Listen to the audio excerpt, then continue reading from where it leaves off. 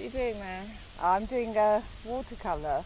I'm painting this lovely Henry Moore sculpture and looking through it. Hmm. I've done a lot of that sort of thing, um, those sort of watercolours where you're framed or you're looking through something, through a tunnel to the light at the end of the tunnel. It seemed to be particularly resonant um, over the lockdown period. I mean, I don't know, I've got a few here. That one was one I did here.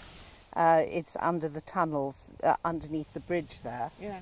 And uh, I love the colours. It pops up. yeah, yeah, no, I love It pops out at you. I love the light. So it's all about the light for me. So the dark and the, the blue, the richness of the light. Yeah. Yeah. I, I found like through this pandemic thing, I started off doing lots of watercolours and they were all the light at the end of the tunnel, that idea, and, and it resonated. Lots of people were buying them. And I think it's a bit like the process we've been going through.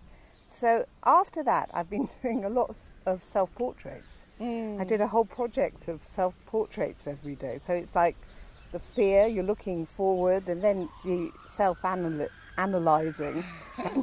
Probably the transformation at the end, I don't know. Talking about self-analysis, did you have you changed a lot over the years in your practice, and you know when you started till now? Oh, absolutely. When I was a child, I grew up, it was a misogynistic era. I was a young girl in a family full of boys. I never felt like my voice was being heard because it wasn't. and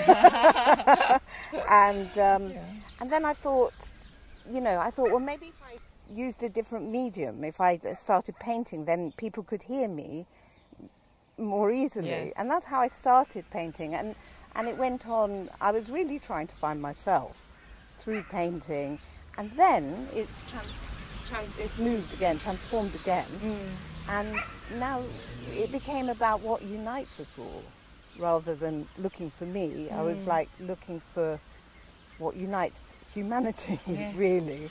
And um, Is that nature? well, yes, Is that Well, yes. way? 'Cause there's a lot of that in your work. a lot of nature, and yeah, it's also about the stillness. Yeah, stillness is in that. Like that one of your with your son actually in the water has also Yeah. got that, and you managed to get the ripple effects, like Yes, you know, capturing the movement but the stillness is I- quite a feat. I love the water because there's so much going on in it.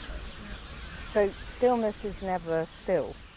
Stillness, I would think, is rich and nurturing, actually. So um, yeah, you look at the water. You've got reflections above. You've got like you can see beyond it. You can see the trees. You can see the sky. That you can see the wind because of the ripples. So there's so much in any little bit of water. It's so rich and full of life, but yet, you know, in, in a painting that's always still. Yes. Yeah. And do you, is that is that a reflection of um, what you like to look for in your work? Like, how do you feel when you're painting, and when how do you like other people to feel when they? Well, exactly. It's it's all about that moment of just letting go, let, Mm. losing yourself. Mm, so when I paint, when I'm really in it, I I don't know what I don't know what time it is, which has caused a lot of problems.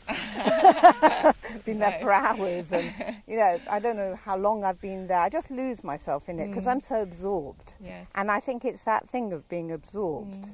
Which nature does mm. so easily. You mm. drop into it. Yes. Yeah, and that's what I'm trying to express. Amazing. Yeah. Oh, well, I'll get you, but let you get back to your oh, work. Oh, thank but, you. But what, what advice would you give to your younger self, or to anyone Oh, definitely be a little more confident. It was just, you know, when you're younger, you have that inner voice that's telling you things that is absolutely spot on, I realise now. Yes. But you always think everyone outside you knows better. So you compromise yourself Yes. to to fit in or whatever it is you think it will do. But really, if I only had the courage to really stay with what I felt, hmm. and I, and you hmm. know that would have been. Well, I, I, it's a process. I'm, I'm much happier now. I'm much more able to do that now. That's. That's good advice. I'm going to feed off that advice too.